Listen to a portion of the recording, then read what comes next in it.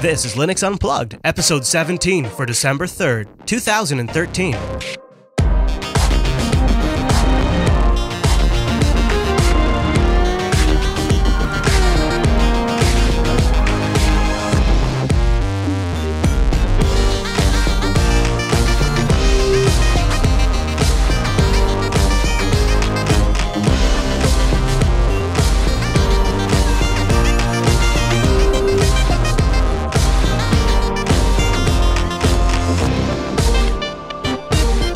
Everyone, and hello, Planet Earth. Your weekly Linux talk show welcomes you to the closing act of 2013. Pour yourself a cold one and join us around the penguin shaped table. My name is Chris. My name is Matt. Hey, Matt, here we are, episode 17. It's the final hours of 2013, and it's been a big year, Matt. Oh, it's been huge. I guess this was supposed to be the year of Steam, but now that we're coming to an end, the only thing I can think about is Bitcoin. Oddly enough, yeah, I can yeah, understand. Yeah, well, yeah. Recently, uh, Bitcoin has been has been sitting above thousand dollars right now on uh, Bitstamp, which is where you could actually cash out today if you wanted to. The price is ten forty five. Other exchanges have it higher. Those exchanges are full of crap. And I think it's interesting because I have to hold myself back. I don't want to talk about it in the Linux Unplugged show, Matt. But it's all I'm thinking about. Oh, yeah? All right. So, you know, this week, Matt, I had a grab bag called it dev random because um, I'm funny like that. And I had a I had several I had several topics I wanted to dig into, sort of suss out. And I, I wanted to start with some of our follow up this week. But before we get into that follow up, I wanted to uh, ask you: Have you opened the boxes yet, Matt? I have. I did my. Usually, when I get a review item, and this is something I've done for probably over 10 years, is I get a review item, I pop it out of the box, I plug it in, make sure everything's working, Ooh. looks good, drool for a while, cry So- myself, then I cry myself to sleep when I put it back in the box. Yesterday, Matt got three boxes from System 76 on his Mm-hmm. doorstep. You got the Leopard Extreme in there, and you got two laptops. You got the new Oh, yeah. Kudu laptop and their Ultra Pro laptop. Can't wait to try those things Oh, out. they're just gorgeous, gorgeous machines. Is, oh. the, is the Leopard how is Leopard Extreme heavy? What's it look like, Matt? Is it nice? It, it- I don't. I, I remember carrying it in the last time, and yeah, it, weighs. It has some weight to it. that is solid hardware. You're gonna be showing up on Sunday with a car full of gear. That's gonna be I know, awesome. right? Can't wait to try that out. And we even got a little bit of extra time to try these things out. I'm gonna I'm gonna be banging on Leopard Extreme for like a week solid. So we'll have like an extended report on how that thing performs on uh, the big show. Well, um, speaking of the big show, so this week I want to talk about uh, Sailfish OS uh, and and the Jolla phone as sort of a follow up. I don't know how many of you out there, uh, if any of you out there, listen to Unplugged and don't listen to Linux Action Show. You're a crazy son of a bitch if you do that. What's the matter with you?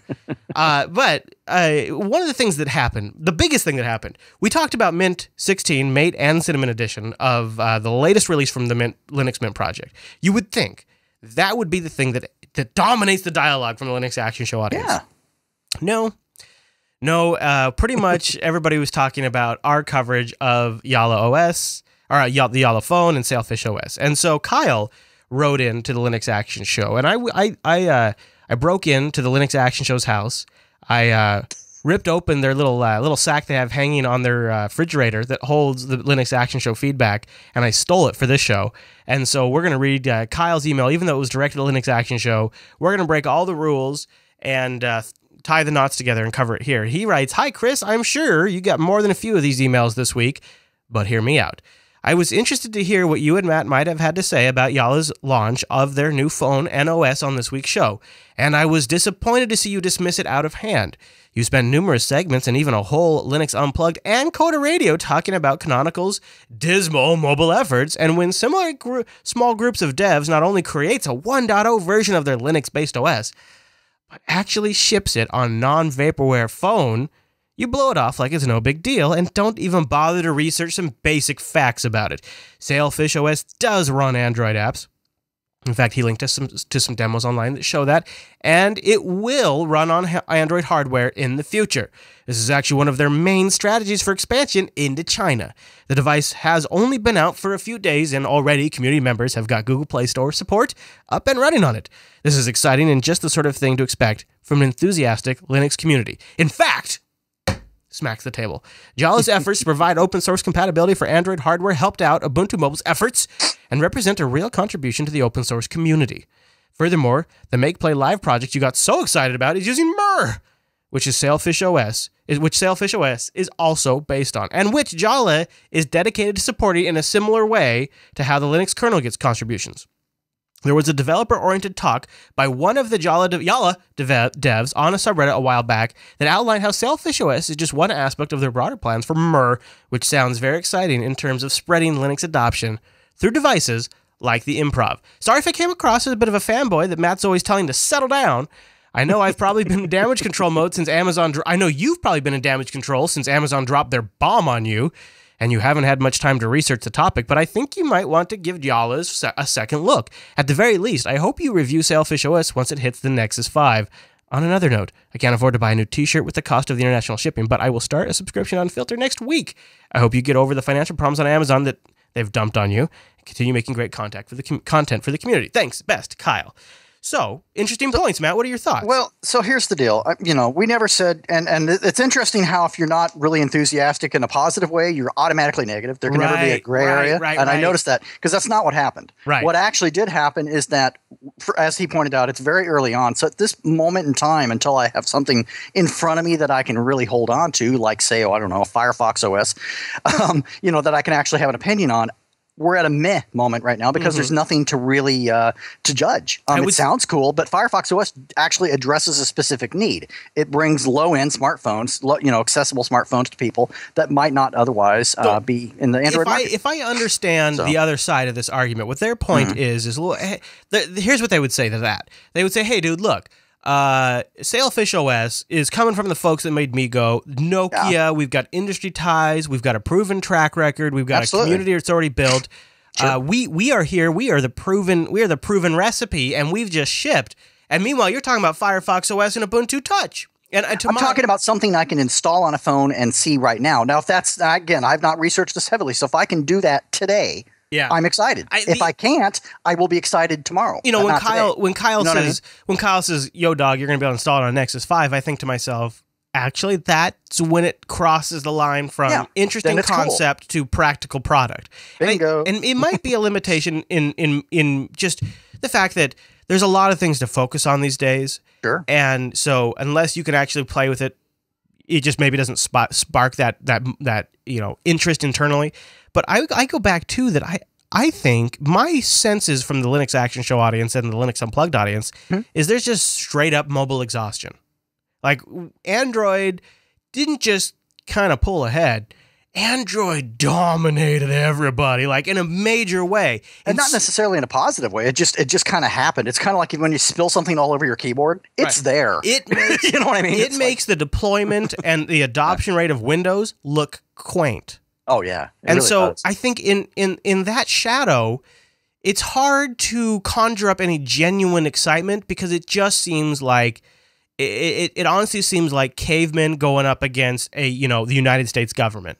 Oh, I wouldn't go that far. I think that once we, again, going back to as you pointed out, once we have something tangible in our hands, I can experience the performance of those Android apps running on this. I can experience the flow of the phone. Yeah. Then I can make an educated judgment based on that experience. But, But we're not there yet. I He's guess- asking me to be excited about okay, nothing. But okay, you know? let's Like, say what hell? let's say uh, six months down the road, I can buy a Nexus Five and guaranteed I hook it up to the USB port of my computer. I flip a few buttons and I can I can install Sailfish OS on it. Sure. I'm still probably not going to do it. I mean, I might do it in the sense of try it out, give it my, you know, give it a go, try it for a couple of weeks. But the reality is, is I want applications that are on Android. I want, We if, do, if I'm yeah. going to have a mobile device, I want badass mapping. I want Waze, right? Right. I, I want to have all of these things that I are just now come to be expected on a mobile device. I want Netflix on a mobile device for that for that 15 minutes where uh you know I we have to wait for something and I oh my god I got to do something to occupy my two kids who are running around like crazy. Let's put Mm-hmm. Totally. SpongeBob on the phone for 15 minutes and it it gives me a better peace of mind. I But want what- that on my mobile device. Can they offer that? I don't think so. And if they But we, can, how we, do we can? know? But do we know yet? I mean, that's just it. Is I mean, and I'm not defending the email, but I'm just saying I, I honestly don't know. I mean, perhaps, possibly, maybe it addresses something in a fashion we haven't experienced yet. If it does, that's Yeah. cool. But but yeah, I mean, for myself, I just I because I think those are valid points. But I think at the end of the day, i until it's in my hands, for in my universe, in my world, it's theory. Right, That well- doesn't mean it's theory for the developer. Here's what they have to for do. The end user, it is. Here's what they have to do. They have to make Yeah. it good enough, and I think they're actually. I think this is why people are really excited about Jolla and Right. Sailfish OS. Is I think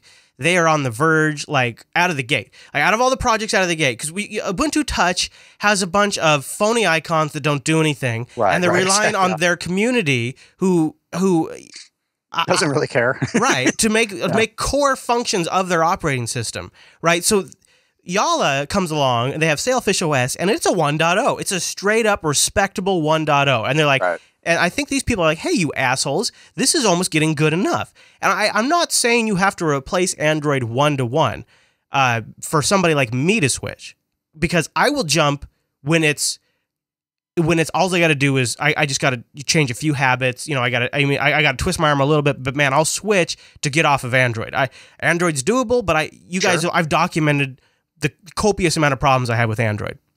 Well, and see, that's just it. And I'm I'm holding out hope, and I would love to see this. I would love to see it to where it provides me the same seamless experience, potentially even a better experience than what Android does, and that includes not only it runs Android apps, but if it runs them at native speeds, Yeah, performance, yeah, feel. yeah. I don't want to feel like I'm running wine or something. I want it to feel good. If it does that, and it very well may. I don't know. If it does, that's awesome. But until I see it. I have no opinion because I, So- I can't judge it, you know. So Yeah. we we I want to I want to make sure I, I stress that I do believe we need something like this. So I got the Nexus 5. Sure. Um, it's an amazing piece of hardware. It really is great, but it there's a creepy factor to Mm-hmm. every time I get a new Android device. More and more is a propri- like uh, is proprietary. It's closed up. Like now, the photo management application that shipped with the Nexus Five is Right. is is Google Plus photos. Your your Right. your photo gallery is now integrated in with Google Plus, and they've deprecated the original gallery app, right? And it's just abandonware. It's just totally sucks, abandoned. yeah. It totally sucks. And so I, as as somebody who is cognizant of these types of deficiencies, this bothers me and it makes me want to switch. I don't think it'd ever make Joe User want to switch. And this is where this is where the fundamental lack of enthusiasm comes from for me mm. is how can I get excited about something that 70% of our audience will likely never use? Uh, the, the same could be said for desktop Linux five years ago, though. And so I would say that you know that that was the argument of well, it's just a hobby operating system. When obviously it's not. It's it's a very core experience for a number of people, myself included, yourself included. Right. So I, I'm going to be I'm going to go out on the opt- optimistic level of if it can in fact provide me with what I'm looking for, I will be its biggest advocate. If it doesn't, I won't care. So, it's, I mean, you're in a wait yeah. and see approach. I'm a wait and see guy. Yeah, Yeah. I'm very, and I look at it's like I don't get too bent into licensing. I prefer open source licensing, but I don't. It's not a lifestyle for me. I'm not a developer. I just I have a preference, but I'm not married to it. Right. You know. you have more security in products that use an open source license. Right, absolutely. I would prefer that. Absolutely, hands down. We'll even take a hit on you know uh, user experience to a degree Yeah. within reason. Yeah. certainly. Or the amount of hoops you might have to jump through Oh, to yeah. make it work. Yeah, I that's where I fall out too. And Yeah. Uh, we'll see. We'll see. You know, all companies go through their rock star moment and then they fade. And and and maybe as that happens to Google, Android, more and more people Sure. look for alternatives. And and by that point, these operating systems and these devices will be at a stage where they've had enough R and D and development and progress forward that they're ready to pick Sure. up that slack, and that would be amazing. So, you know, as as Sailfish OS comes out for other for other devices that I can get my hands on, I'm totally going to check it out. I'm keeping my mind open, but I'll be honest, um, I couldn't I couldn't push myself to research the Jolla announcement enough to like know it in and out. Like I researched it enough to know what the important moments were and and and highlight some of those important stories in the show notes. So if folks wanted to go look in the show notes of last week's last, they could go get that info. However, you know, myself, I was like I I more like wanted to cover it in the show Mhm. just to document the important moment for the for the project itself and not much Right. more than that. And and, and that really seemed to bother people. Well, and they it's it's comical because again, it's we're victims of a you know we as the Linux community tend to we're, we're almost religious about things, and sometimes that's not. Almost.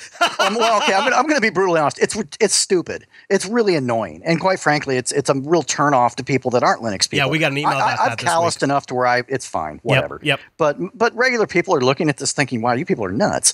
So I mean, you know, for me, I need something tangible. I'm about user experiences, and that includes the benefits of the open source uh, licensing because there are ben- there are tangible benefits to that. So I mean, I put it in the same bucket. But Yep. Great analogy is looking at the difference between the Steam box. We're all really excited about that. You ask uh, my 17 year old nephew what he's excited Right. about, who was really excited about Steam box last week until he saw a trailer for Killzone for the PlayStation 4. Right. He couldn't give a rat's butt about Right. Steambox anymore because something visually tangible is in front of him that he Yeah. can be like, ooh, drool. Yep. And that's what Android's got over these uh, other operating systems. I Yeah. think we're going to have to overcome that. Yeah. So, Yeah, you know. good point.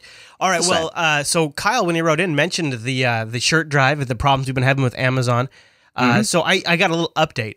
We had a lot of people say, "Hey guys, love the shirt. Don't want Sure. a long sleeve T-shirt. I want a Yeah. hoodie." So Yeah, we added a hoodie. So if you go to teespring.com/slash Jupiter 2014, you can grab a hoodie. This is helping us uh, get to our 2014 goal, or at least helping us get through 2013. This is a logo we'll be rolling out in 2014. All So now we got a hoodie available.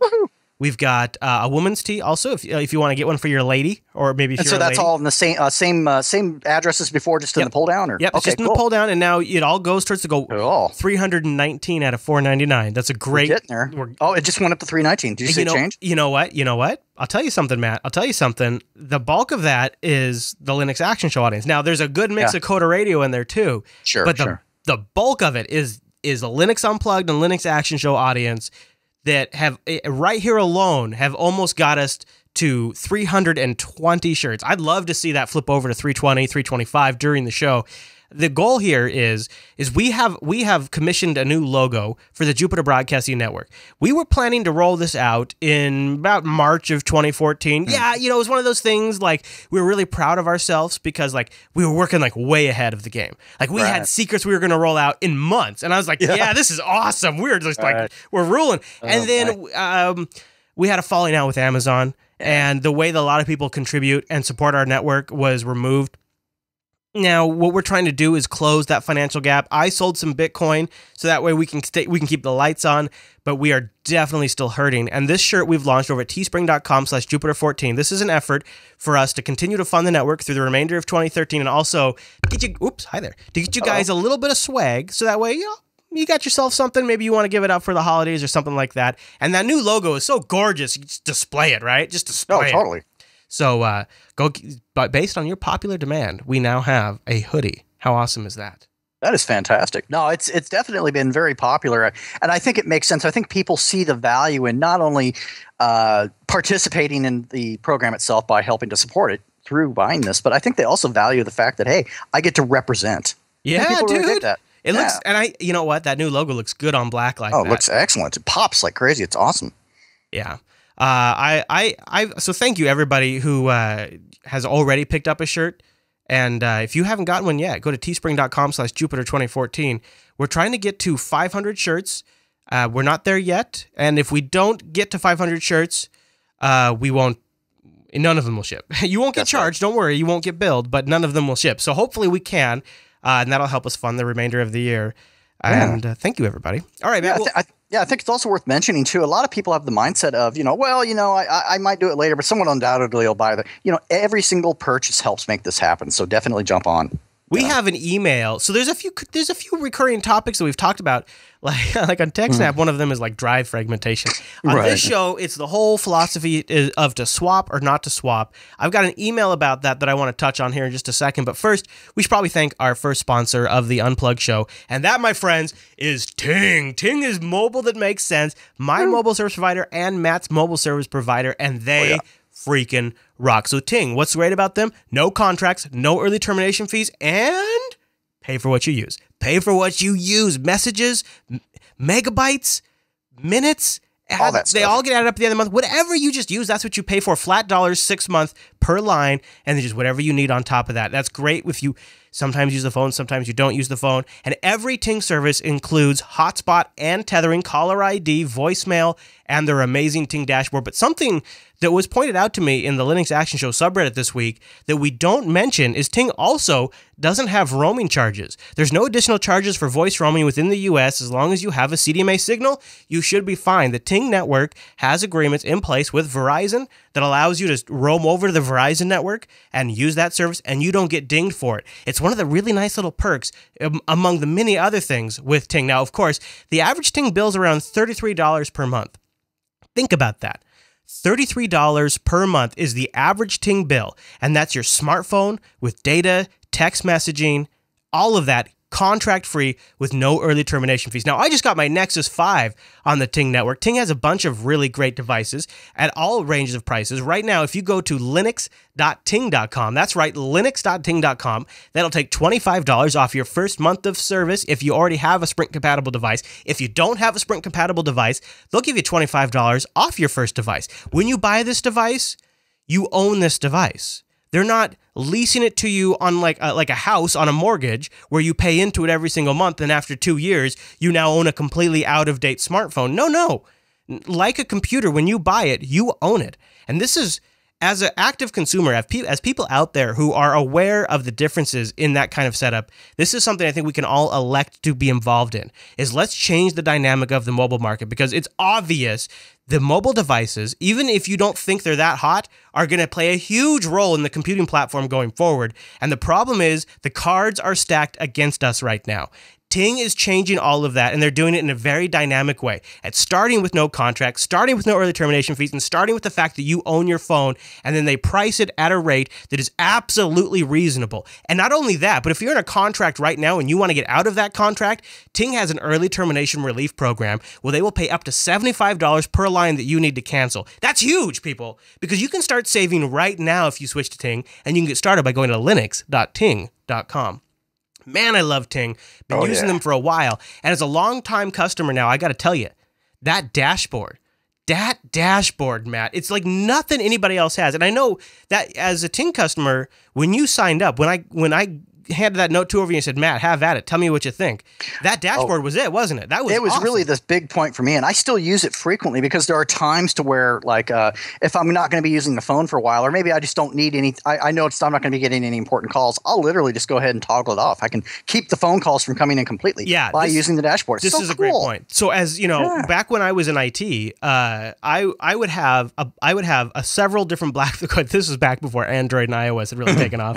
I would have several different BlackBerry devices and one Windows mobile device, and I never use the Windows mobile device. I was I was down with BlackBerry, man. I was a BlackBerry Oh, yeah. guy, but I only needed one, right? But the company I worked for, they had to pay for all three lines all the time, every single month. And then when like another tech needed to try something out for their client, there's no transferring. Like unless you wanted to call the Verizon rep and ask them after you explain to them what it is you're even trying to do. Ting does it all through their dashboard within a couple of clicks and lets you get right back to work. It's so awesome. So go get started by linux.ting.com. And by the way, you need to order your device by December uh, 13th if you just want to get FedEx Ground, or December 19th for FedEx Express in order to guarantee delivery by December 23rd. So if you're giving somebody the gift of Ting for the holidays, get your order in before December 13th for the cheap shipping, or December 19th for the uh, express shipping to get that guaranteed by uh, December 23rd. So a huge thank you to Ting for sponsoring Linux Unplugged. love those guys Okay, Matt. So I want to cover this email that came in uh, from Bab because it's it's a topic that we talk about a lot. No, it's all good. Oh, it's, good. no, it's good. I, was yeah. like, I, thought- I felt where this is going. I was like, oh. I'm about to get. I think we have one those. Actually, I think we do have one of those at the end of the show. Oh Well, you no! gotta have one. Have to have at least one, because No. otherwise, what's the point, right? I tell Yeah. you what, we got one that's going to get people really fired up uh, next. Cool. Yeah. Uh, okay, but this one comes in from Bob. It's safe territory. We're not going to get All right. anybody too upset. He says, "Hi guys, uh, just a quick note. Chris mused that maybe uh, the day is near that you could run with a machine without a swap partition. Well, this intrigued me, and for the last year." I've been running my 8 gigabyte laptop with no swap partition and have not noticed any issues even when giving it a pretty thorough workout. In fact, it worked so well that I honestly forgot about it. One thing that had bugged me though was that the Hibernate hasn't been an option on Ubuntu for me. I just assumed that it was a config issue or the hardware not being supported. I found out I could run pm-hibernate command, but it would just simply not hibernate. My frustration boiled over today, and I went digging for clues. It looks like it may just simply be a case that a swap partition is required for Hibernate to work as where the memory image is written out before the machine shuts down. I GOL'd, uh, that's groaned out loud, when I found this out. I'm not yet, uh, I cannot yet confirm this is my issue, but I thought I'd share experiences for the benefit of all. Bab. Yeah, that is true. That is true. Interesting. That is the Yeah. downside to running without swap. And you know, I have a swap. I all my all my machines have swap right now, Do you do swap partitions still? I do. I mean, and, and honestly, it's just a legacy habit. I mean, it's like it- it's almost like building machines and putting a floppy to drive in it. You do something like out of habit, thinking, "Why the hell am I putting this thing in here?" Yeah, don't or this, get rid of actually. Matt, I don't mean to age you, but it's now CD-ROMs, Matt. It's not floppy drives anymore. What? it's CD-ROMs now. Yeah. Uh, well, so- I've got my cassette tape drive sitting right here. It works. You know, can, magnetic media is the future. God, what, well, why hibernate when you can just either suspend or boot? I mean, what kind of system takes that long to boot anymore? I, I, I, I don't know. I put it out to the mumble room. If anybody in here has a strong feeling on swap partitions, I, I anybody in anybody in the uh, mumble room running swap free these days? Yes, kind of. I use swap Yeah, files okay. Um, instead. can I? Uh, yeah, can I jump in quickly? Okay, you only need a hot. You only need swap if you want. If you're using a laptop and you want to put it into hibernate. If you've got more than two gigs of RAM, you do not need swap. Swap is only used for hibernation. Well, what about crashing? That's not true. Yeah. That's completely incorrect. Here we go. and it's on. Basically, no, I actually yeah, need a okay. swap So um, let's Right, but say you've got three have gigs of s- RAM. What's swap used for? I, I, I have use a swap on- partition in order to compile my kernel. Usually, I don't have an, like five or six gigs partitioned or put on my rig, so I use like. I know, knew this would be. I knew this would be a hot topic. But I, I have I have 12 Okay, gigs of swap using- even on even on machines that have 144 gigs of RAM. yeah, I do too. I Yeah, even but but you don't need if you have no swap at all, the only rule of thumb if you negative thing I had is you can't hibernate. That's it. No, there's That's no negative, negative thing. No. First of all, if you don't have any swap space, as soon as you're out of memory, the kernel either has to start killing random processes or panic. There's no other option. Yeah. Okay, but you Whereas got you have even a little RAM, bit you of got swap. four gigs of RAM. It's not an issue anymore. It's generally a Yes, good it idea to have. 512 gigs of RAM uh, for uh, 512 gigs of swap, I think should be enough. Just as a safety, I mean, it's 512 gigs. Right. You only yes, have a boot partition oftentimes- or a swap file. yeah, Yeah, exactly. oftentimes you'll make the swap only 512 megabytes or something, which Yep. is just enough so that really inactive Mhm. stuff can get out of your way.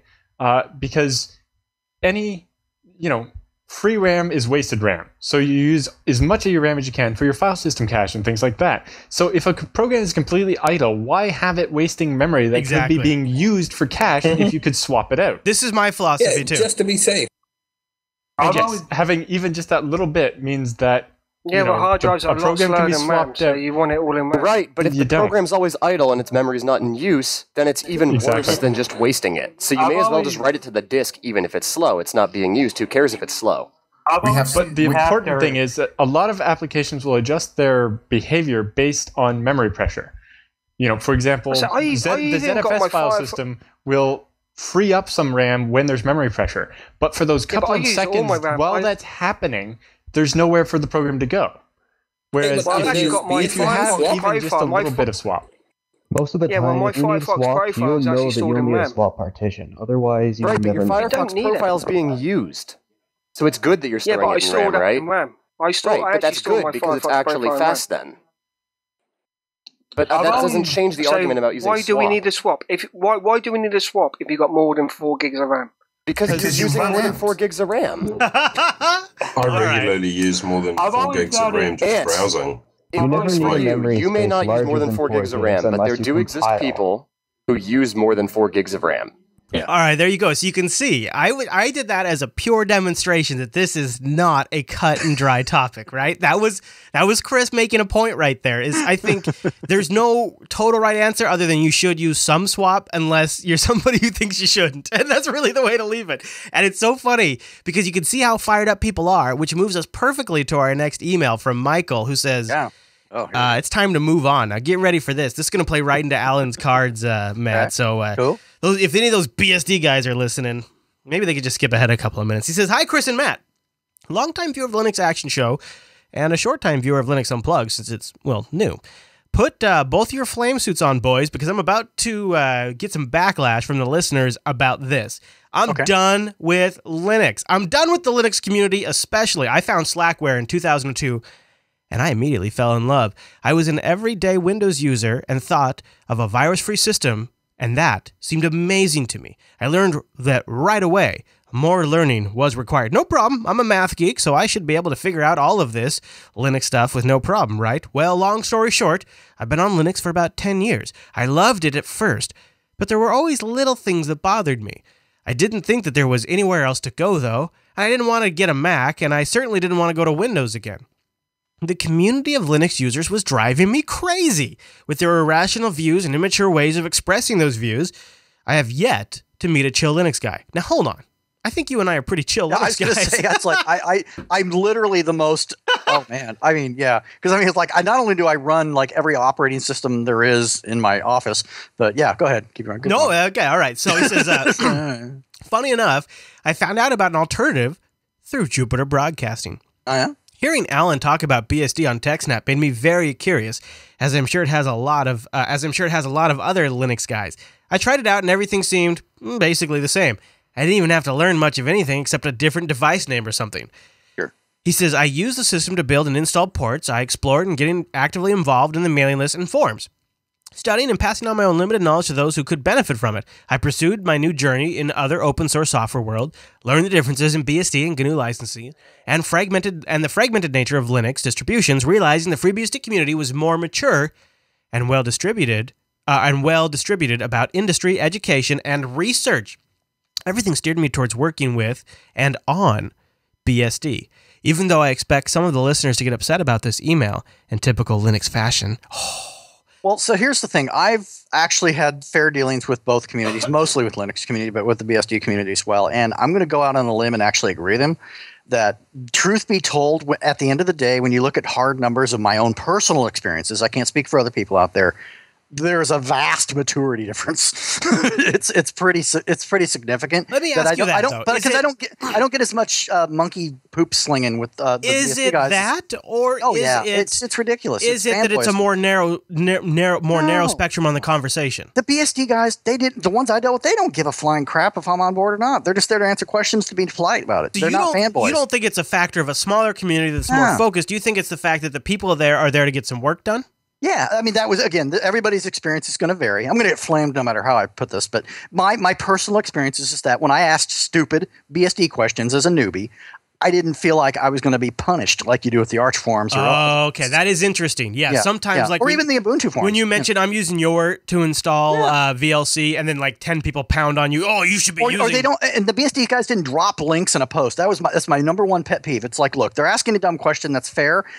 Answer the question, then mention, hey, by the way, use the search feature. Don't don't, don't be a douchebag and put a link. Just in like there. all I- aspects. ugh. Oh my god. All right, Mumble Room. So yeah, let me I'm going to give points to BSD guys. I'm just going. What do you think, Mumble Room? Why is the BSD community generally considered more civil and calm than the Linux community? Anybody have any Less more. fragmentation. The average Less age is 10 fragmentation, years older. I would say. Mm-hmm. less Ah. fragmentation? Also, Uh, I would say The average age of a FreeBSD developer is 10 years older than a Linux developer.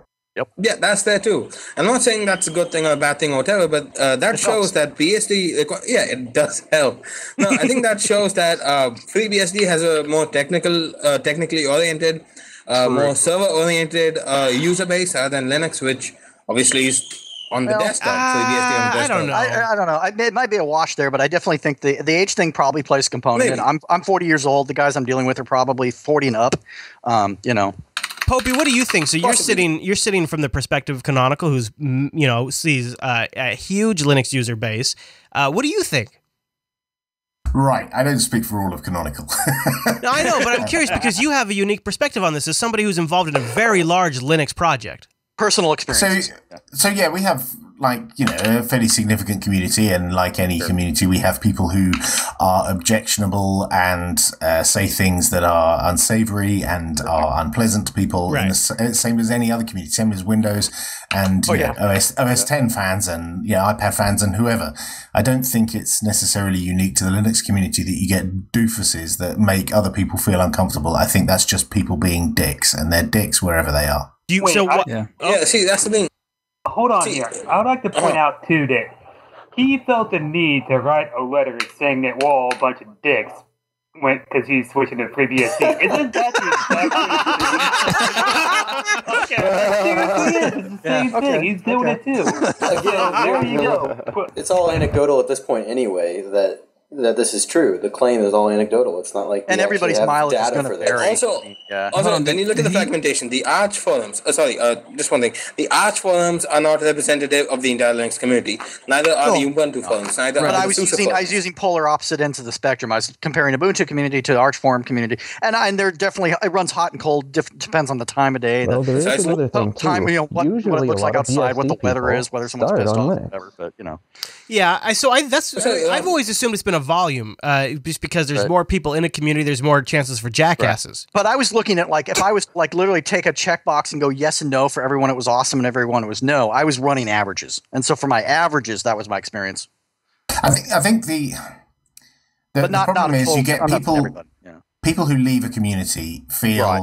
so angry that they have to Yeah. you know in the same way that when someone unfollows a celebrity on on on Twitter they'll you know announce to the world that's it I'm unfollowing you or they'll leave a post on a blog saying you know that's it I'm switching to Arch or you know people feel the need to have their voice heard Declare. even if it's a negative one and and yeah and declare when they're leaving and they're going mm. away and throwing their toys out the pan That's a good point. In a way, I think it's a That's way of excellent point, natural progression. All right. All of us usually start upon Linux because it's the largest and most common to start on. Most of the time, it's usually a choice to change to a BSD base based on what we know and what we consider to be what rubs us right and what floats our boat. Yeah. That might be why the way of uniting together under the BSD umbrella will be a little bit more civil versus the Linux. Yeah, There's just as much fanboyism over there because they always. Because, I mean, they just like FreeBSD, right? Or PCBSD. But Right. then they- at the same time, they talk a bunch of crap and whatever about people who use Linux or whatever. anything Oh, yeah, no, I've so seen it's some- the I've same seen some. exact Yeah, they do that quite. I, I look at it. Alan um, does Alan. it every day on TechSnap or every week. Well, I look at it like this: is I think guys like Alan who have a very set of practical expectations from the software they use. Oh, okay, here's my here's my background. Uh, before I was even doing the Linux Action Show, I was I was using Linux, of course, but I definitely experimented with some FreeBSD file servers because at the time there was a bug that, that dramatically affected Linux's performance with uh, Adaptec SCSI cards, and FreeBSD did not suffer from this same bug. And I got massive better uh, multi multi user performance from a FreeBSD server than I did a Linux server. So I started deploying FreeBSD in in you know um, quite a bit actually. I, I think about seven or eight servers over the span of a six month period uh, that would have each of them having 300, 400, 500, 700 users hanging off of each server. And in my experience doing that, FreeBSD was excellent. It definitely got the job done. But Sure. where for me, I started to have some problems. It started to fall down. Was this was really early on in in the Samba project developing their WinBind technology, where you could actually bind to an Active Directory, import the Active Directory NTIDs as UIDs, and actually set file permissions based on entries in the Active Directory. And this became an absolutely mission critical function of our file servers because this was during the transition from NT4 to Active Directory. And the only place I could get that initially was on SUSE Enterprise Linux. And so we ended up going that route. And I found it interesting though that I was very happy with FreeBSD, but then as I needed something that was really kind of emerging, I ended up having to go back to Linux. And that's always kind of kept me there.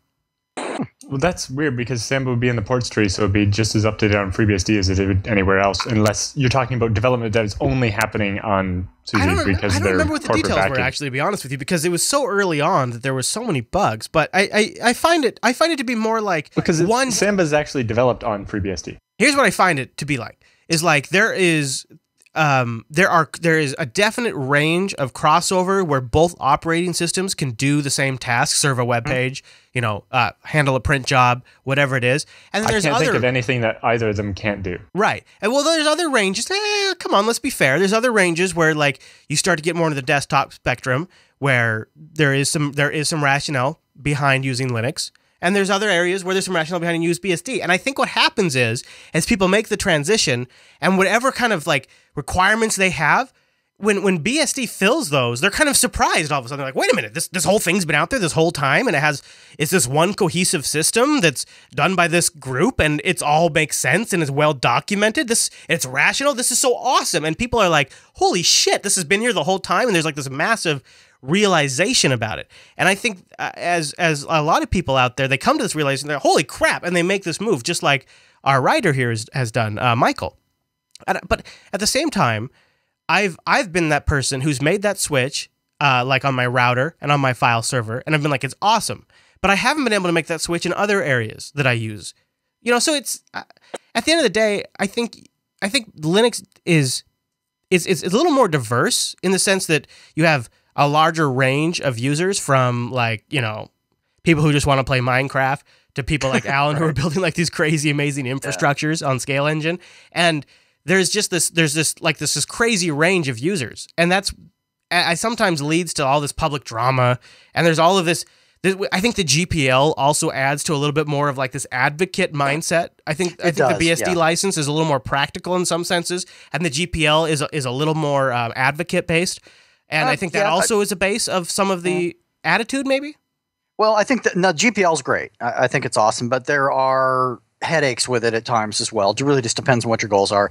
Um, I, from an idealistic point of view, it's wonderful. You know, it's great, but it's not always the most practical thing in the world. Um, and I guess best examples of that is you don't really ever see a whole ton of uh, monetized open source desktop applications for home users. I know it's like a, a, a niche within a niche within a niche, but it's you know I'm kind of putting that out there to where with a closed source license that's readily possible because you know no one's going to take your code and run with it unless they pirate it. Mhm. Um, so I mean I think there's you know facets like that, but whereas like you have maybe uh, you have the BSDs to where maybe the people would see that as more of a it's just less well quite frankly it's less verbiage in the in the license itself really it's just it's it's almost i hate to say it, but it's almost easier to understand um, you pretty much know where you stand Oh, so there's there's advantages there now, i'm not saying one's better than another i'm just saying i think they they serve different purposes and so they probably appeal to different people Yeah. um, uh, you know, as far as BSD itself, I don't have a ton of experience using it. I just had good experiences with the community. Have you really ever have you ever know. tried out PCBSD?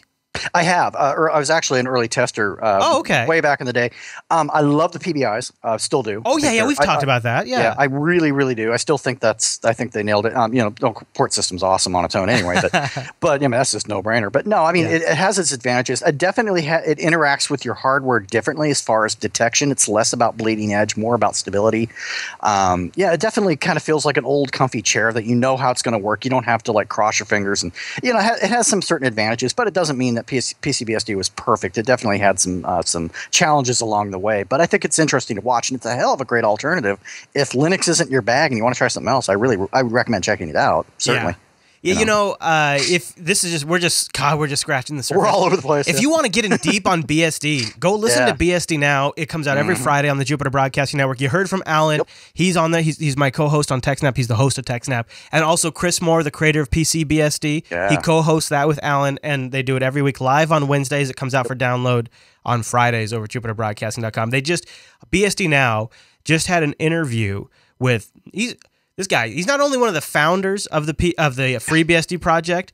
Uh, he, I believe, he also was one of the co-creators. Uh, Alan's probably gonna yell at me. I believe he's one of the co-creators of sysinstall, but also the inventor of ports, which is Wow. amazing. Yeah, his name is Jordan crap. Hubbard, and uh, they, did, they did an interview with him uh, on last week's BSD. Now, if you guys want to go check that out. All right, uh, Alan. Boy, see, uh, now I'm in TechSnap mode. Do what happens. So- so I've been upgraded. So look, I thought we'd uh, last week when we were uh, gearing up for our Linux Mint review. One of the things because people always kick around like Linux Mint is the perfect distro for new users, right? So I brought the wife in and I said, "Okay, honey, here's Linux Mint. Have at it." So I'm going to bring her in in just a second to get her opinion on Linux Mint and kind of share some of her thoughts on some of the things she ran into. But before we get to that, I want to say thank our second sponsor this week, and that is Digital Ocean. DigitalOcean is a simple cloud hosting provider dedicated to offering the most intuitive and easy to spin up cloud server. And it is crazy easy. Users can create a cloud server in 55 seconds, and pricing plans start only $5 per month for 512 megs of RAM, a 20 gigabyte SSD, one CPU, and one terabyte of transfer. DigitalOcean has data centers in New York, San Francisco, and Amsterdam. The interface is simple. It, they got a control panel that is amazing. Uh, power users can replicate at a large scale, and they even have a straightforward API. I've got an Archbox running over on DigitalOcean at $5 per month that distributes all of the content for our Unfilter supporters and also uh, some additional content for just fans of the Unfilter show. I have all of that running through a $5 a month DigitalOcean instance. And I'm looking at this Archbox. I'm like, damn, son, I got more resources available to me. And I'll tell you, that SSD, it really actually, even on a system that's up in the cloud, makes a big difference. Not only do, do, do updates just rock on that thing.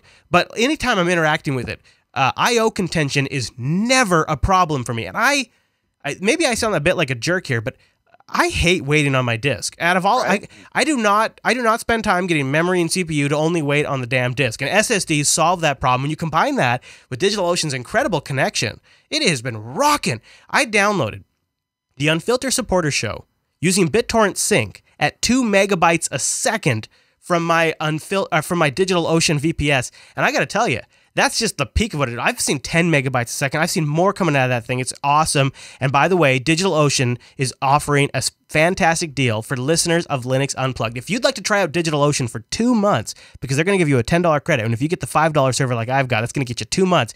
When you use our special promo code Linux Unplugged December, Linux Unplugged December will get you a $10 credit on a DigitalOcean account that you can go try out.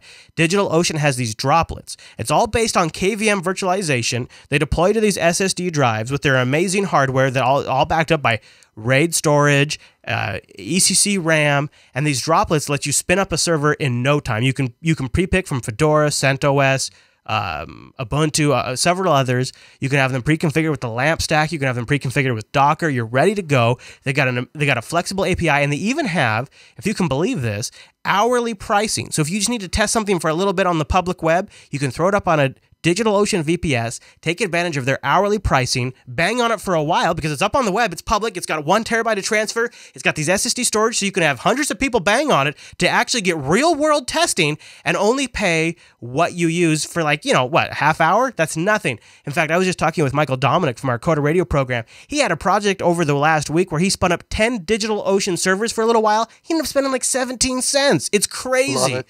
Their web ad- administration panel is awesome, but DigitalOcean also offers a vast collection of tutorials in their community section on their website. Users can submit articles to that section, and if DigitalOcean publishes it, you'll get paid $50 per published piece. So we'll have a link for that in the show notes. Go check out DigitalOcean. We have a brand new promo code. It's going to get you a $10 credit on DigitalOcean service. That's Linux Unplugged December. Brand new code. Go over there, try it out. You guys there's so many things. I here's here's like a little taste of. I've been thinking about setting up an XMPP server on DigitalOcean, Oh, a nice. Zimbra server on DigitalOcean. I've already got BitTorrent Sync and a web server on DigitalOcean.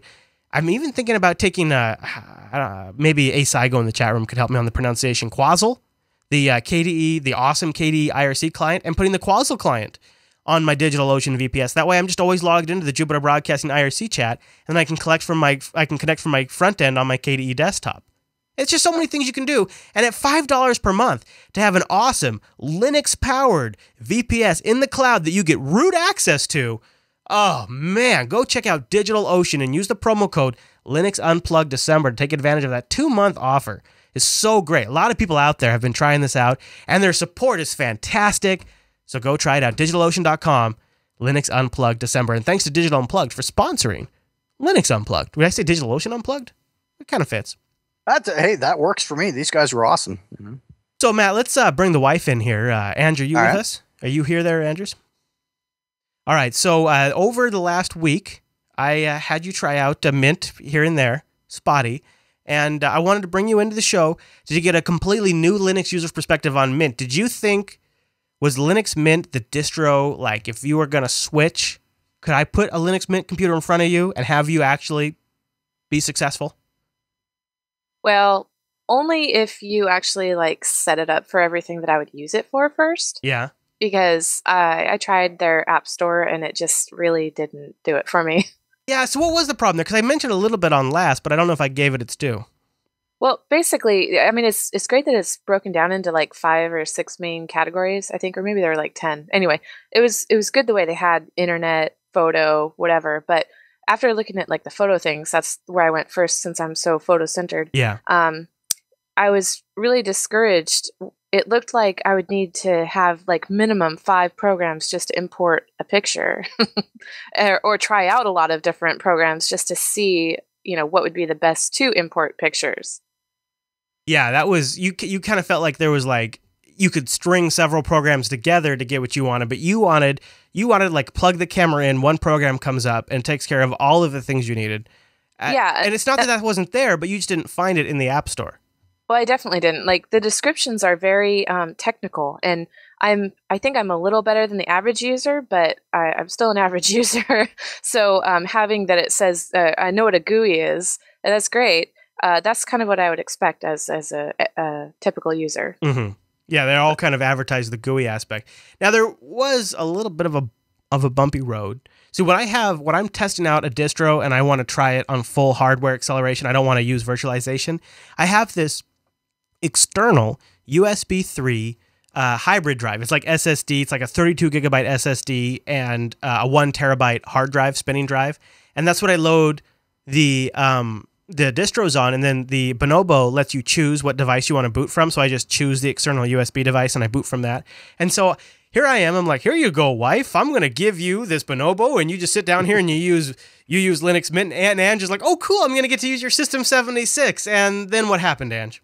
Okay, so this is great. So he he's like, all right, here you go, and he turns it around, and I'm sitting pretty much where Chase does when they do uh, unfilter, so they face each other, or yeah, and I go to click on something, and uh, nothing happens. So I try the corners, And I'm not watching because the screen isn't facing me at this point. So I'm just like, I'm figuring like she's making mistakes. yeah, and and I click, I like double click the computer icon, and the whole screen like freaks out and i don't know what's going on and and i was asking him like you know how do i do anything because i didn't have a, a oh gosh all i can think of is calling it a start bar what what is it called when it's on linux Well, you, you can call it the, you can call it the start menu. Everybody knows what you're Okay. talking about. Okay, well, th- that menu wasn't even there, and so when I asked, "What do I do?" and "What do I even do?"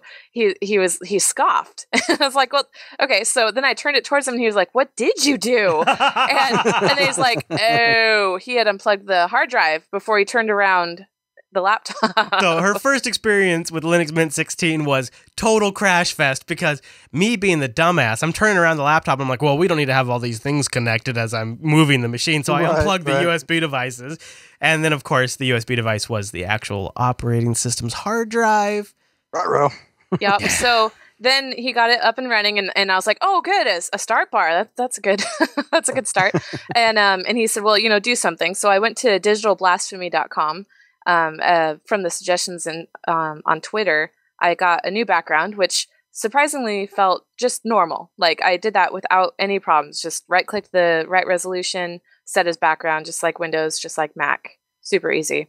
Um, and then uh, let's see, what was the other thing I tried? Oh, I did the sticky note. That was good. Oh, yeah, you liked that. In fact, you wanted me to add that to your Mac. I remember yeah, that. yeah, because I never like. Okay, well, I on my Mac I have a really old version of OS of Office for Mac, and and it's slower than molasses, and I don't like text edit because of the lack of formatting.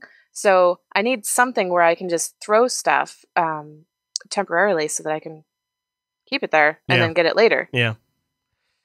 Well, so uh, so your your overall, I guess, your to encapsulate it, it was yeah, I could use it, but you didn't feel like now. Did you feel like? Do you feel like that would be the case if I gave you Windows today? I'd have to completely set it up for you. Is that any different than if you were switching to Windows? No, no, or I mean, uh, the answer is I think I could be just fine on Windows. Surprisingly, Do you think you could be just fine on Mint? No, because mm, I don't, I don't know if you recall, but you're like, go find a program. So I went to uh, Firefox Yeah. and I typed photo programs for Mint. Yeah, yeah. Okay. Well, And- Win- Windows 7 versus Windows 8. I mean, which one would you feel more comfortable with? oh, I don't even want to look at Windows 8. Good answer. I really don't. Good answer. I, I was I was a big fan of uh, Windows 2000. I didn't even like Mhm, XP. So uh, no, I, I don't even want to try 8. Uh, eh, no. Yeah, it's pretty bad. Okay. Yeah. Well, thank you for trying that. You were a good guinea pig, and uh, I think in the future I might have you try Elementary OS and see what you think about it, and maybe we'll have you come back on Linux Unplugged and share your thoughts. yeah. Oh, that would make uh, Ryan 516 happy. Yeah, well, you're a Mac user, and uh, Elementary OS is the closest, like, sort of Mac OS experience I think on Linux right now, without being like uh, just a rip-off theme. Like they Yeah. really try. I think PearOS might be fun because I just just to see how Pa- different it Pear is. OS, yeah, Yeah. Yeah. yeah. That'd be my choice. Okay. All right. Well, thanks, Ange. Yep, no problem. All righty. Thank you. So, uh, Matt, we got one more little bit of uh, email I wanted to get to uh, before we go. Actually, it wasn't even an email. I, sh- I keep calling that because we've gotten so much email recently, but this was actually a subreddit post, and I'll read it, and then we'll jump into the uh, Mumble uh, group and uh, see what the guys think. But uh, he says, uh, "Hello." I got a show idea for you. Tiling Window Manager Roundup. I feel the Linux Action Show has not showcased many tiling window managers.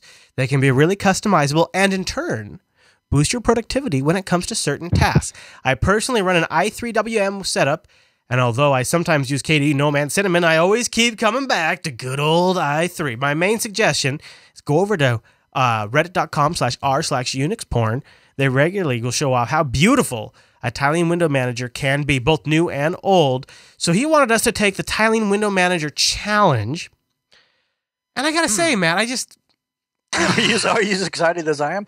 yeah, I, I think Yeah, so. Like yeah, for me, it's- I've think actually- it's worth doing. I think, in fairness, despite what we may, despite what we might feel, Ah. that we need, we need, you know, because remember the Arch thing? Oh, that stupid Arch crap. You know, that was me. I was Mister. Oh, Arch is stupid. was I won't too. ever I was- use Arch. I was and now I'm using. Now I'm basically using Arch. Yeah. So based on that, even though even though I've tried it and I was never impressed with it, I have to eat my own dog food and actually at least try it. But- then I can dog on it. You know, But intelligently. Matt, KDE is so nice. I'm liking KDE these days. All right, so I gotta let's let's jump in the mumble room. Is uh, Totally. let's ask the mumble room uh, guys. What do you think? Do do uh, Matt and Chris have to take the window ti- the tiling window manager challenge? I think Well, if, if you It would definitely be interesting. Oh, sorry, if you George. do it, if you do it, you got to do all of them, and there's about eleven. I don't want to do all of them. I like want to narrow it down to one or two. Two, yeah. And so I'm, we've I'm talked sure about there's more than eleven. We've talked Yeah, about a we've talked about million awesome and window could- and Yeah. and uh, we see we've done awesome and uh, Xmonad on the show before, and I both times I felt like I felt like I was just doing a fan service because to me Mm-hmm. I feel like I'm compromising a modern desktop experience. Like I I- I come from the 80s, people, where we didn't have desktops, and god damn it, we finally have desktops, and I want the best possible desktop possible. And why Hey, the hell hey. would I go back to a tiling window manager? Windows 1.0 was a tiling window manager. Yeah, exactly. That puts it in perspective. Well, three point one sort of was too. Ugh. I, I think See, the thing about tiling window man. Sorry, go. I think if you're going to do it, you don't need to do all like twenty five thousand of them. Uh-huh. You only really need to do a The dynamic, big three. um, like a dynamic tiling window manager, All right. which would be i three, i3, yeah. and then you need to do because most of the others are all forks of DWM. Like even Awesome is just a fork of DWM. So I would Ah. I'd probably do i3, Awesome, and Xmonad because those three Right. seem to be Yeah. the three main ones. Well, the one I hear Totally the have most to do about. Spend, You need to do That's you have raffles. to spend at least a month or two with Ah, each one to really learn them. Oh, f- no. Yeah, That's not going to happen. nah, screw. You just you need uh, just use the right poison. I used my. I had my fling with Xmonad And and, then, and then I'll go surf YouTube with links, and uh, you know, I mean, it's just There kind you of like, wait, what? To me, tiling window managers are just not capable TTY4, anymore. Tiling window TTY4. managers are for pretentious idiots who just want to feel cool about using a computer.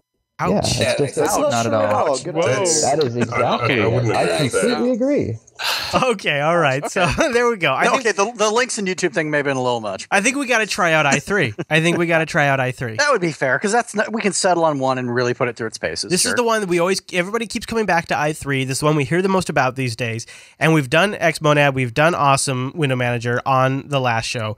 Maybe it's time to try out i3. Now, I'm not saying immediately because we got a lot of stuff lined up on the big show, Mhm. Maybe, maybe the end of the I, I'd year. say that once we get through our big stuff, Yeah. I think you know once we're looking for topics, I think it's a great. I think it's a it's a fair thing. I mean, you know, we we tried Arch, it worked out. And who knows? Maybe we'll have a a passing uh, affinity. Maybe. You know what, Matt? You're right. You, you're right. I, I said the same thing about Arch, and now here I am running Arch everywhere. it just allows us to at least we can for myself i can speak intelligently and be like you know what i i really love it because of blank or i really hate it because of blank i can actually point to something directly versus just you know saying no, i don't want to try it you know that kind of thing You know, although I'm going to tell you one of the reasons I like Arch is because I get the most current KDE anywhere. right yeah yeah So, so, and that's a benefit we weren't even aware we really fully Yeah. rationalizing that we missed we heard it but we never really materialized in front of us i guess you know what I'm going to do is I'm going to set up an i3 desktop that is There powered on the back end by Kwin, right? Oh, there, it is. There you go. I'm Oh, I see where you're going with this. I see. I will have wobbly windows, although I will never get wobbly windows. but I know it's there. I know it's there, man. Oh, if I ever needed it, I know it's there. Um, look, before we run this week, it is getting close to the holiday season, and I I've gotten a lot of crap from our from our very own mumble room about talking about Steam and Humble too much. but I don't know. If you're like me, every now and then around the holiday season, I get the gaming itch. Even if I don't have the time, it's like baked into my brain. It's time to game. And there's a new Humble Bundle, which we, we, will, we will probably talk about on last, but it'll be several days into it. Now it's just launched. There is a new Humble Bundle out, and there's a couple of games on there that make the entire thing worth it. Serious Sam 3, BFE, and Natural Selection 2, which Natural Selection 2 is that game where you get to play as the human or the alien. That's what that's the one I like. Yeah. 13 days left on this humble bundle. All I'm saying is I want all of you to go over there and dominate this thing for Linux again. Let's just go over there and remind them why they why they go through all the effort on porting some of this S to Linux. Because if you look at this lineup, uh, one, two, three of the games are not available for Linux. This is not a trend we can allow, my friends. and the trend must be our friend. So therefore, we must go over to Humble Bundle and use our Linux dollars or Linux bitcoins, as it were, to own this chart so we can show them that it's still worth their effort to port to Linux. And the entire damn thing is worth it for Natural Selection 2. Sanctum 2 is also in there. Magicka, plus all the DLC for Magicka is in there.